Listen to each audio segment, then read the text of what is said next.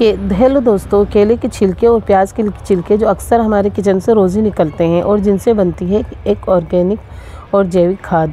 तो जो जिसे हम, जो हमारे पौधों को बिल्कुल हरा भरा और स्वस्थ बनाते हैं, जैसे ये है स्पाइडर प्लांट। स्पाइडर प्लांट इस तरह से बेबी प्लांट देता है और हम इस तरह कट कर कर आप इसे ढेर सारे प्लांट तैयार कर सकते हैं। और ये है ड्रेसिना ड्रेसिना प्लांट भी बेबी प्लांट देता है। ये बेबी प्लांट है और इसमें भी आप इस, ऐसे, इस तरह से आप गुड़ाई कर कर डाल सकते हैं।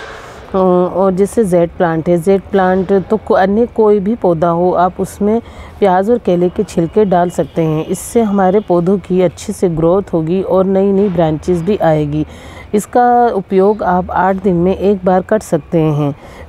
प्याज के छिलके बड़े काम की चीज़ होती है। इस प्याज के छिलके में आयरन, कैल्शियम, मैग्नीशियम और कॉपर जैसे नेचुरल मटेरियल पाए जाते हैं। और केल केले के छिलके भी बहुत ही काफ़ी फ़ायदेमंद होते हैं। थैंक यू दोस्तों।